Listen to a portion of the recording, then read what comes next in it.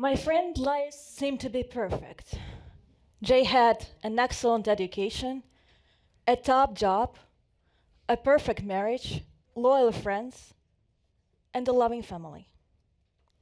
But under the surface, Jay was fighting a tough battle against serious illness called major depressive disorder.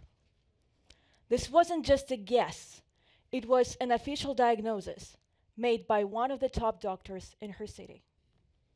During this fight, Jay tried different treatments and medications, and also spent weeks in the mental health hospital, watched closely by doctors and nurses there. At the end of her stay, Jay filled out lengthy 50 pages questionnaire to help doctors understand her mental state. The results given by highly skilled doctors were hopeful. They said Jay was getting better and the risk of suicide was low. So they let her leave the hospital. Just two hours after, she walked away out of the hospital. Jay fatally intoxicated herself with helium. Sadly, Jay's story is just one among millions like that around the world. Last year, 700,000 people died from suicide, and 20 times that number attempted to take their own lives. In United States alone, one out of five adults have been diagnosed with major depressive disorder. With depression being the leading cause of suicidal attempts, suicide became a leading cause of death among young adults under the 35 years old.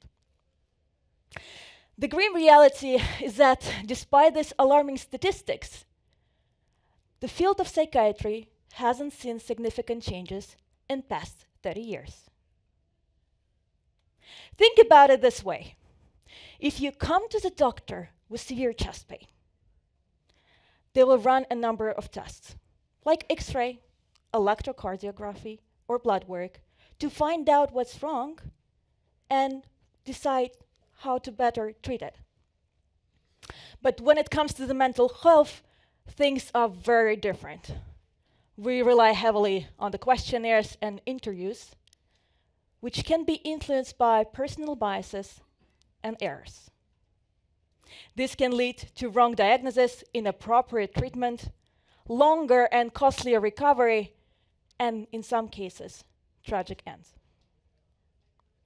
The lack of the hard data and biological tests doesn't just affect doctors and their patients. It also slows down the development of novel therapeutics. It makes it difficult to design and evaluate clinical trials. It makes it rough to predict how many people would suffer from the mental disorders, how long it will take to recover, and what wider social and economic impact could be. But why this seemingly urgent issue is still without a solution? One of the answers hides in the nature of depression itself. It's heterogeneity. This complex word simply means that depression, despite the same diagnosis, can look and feel different from the one person to another, have different origin, and thus require a different approach. The way we treat depression right now is largely a guessing game. Doctors prescribe treatments and medications based on the general guidelines, not being able to tailor the treatments according to personal needs.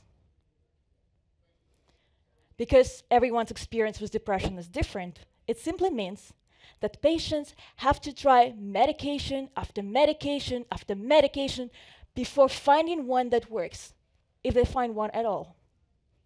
This trial and error process can be lengthy, emotionally exhausting, and even dangerous, because it can worsen the symptoms and increase the risk of self-harm. Our knowledge of the brain and how it works is at very early stages. It's like we are at the start line of a marathon. But the good news is that novel technologies like artificial intelligence or machine learning can be game changers. they hold potential to unravel the complex nature of mental disorders, develop novel treatments, and ultimately save lives. Imagine a future in which we don't just trying to treat depression, but we actually understand it. We've redefined it.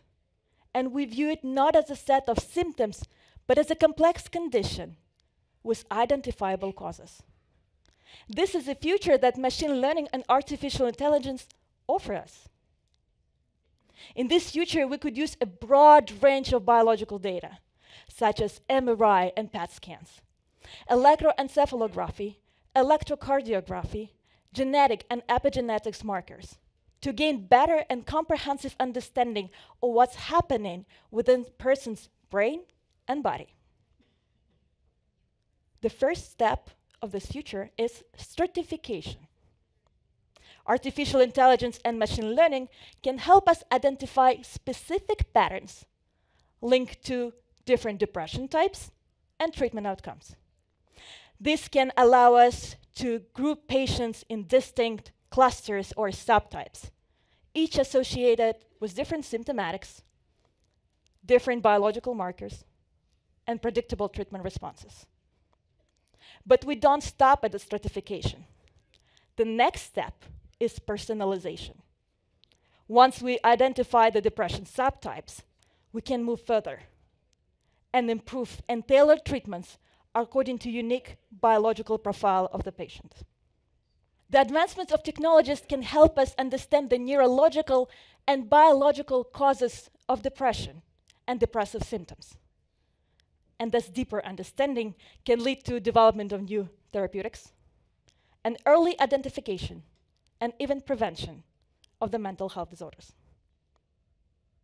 This is not a dream, but this is a reality that gradually taking shape.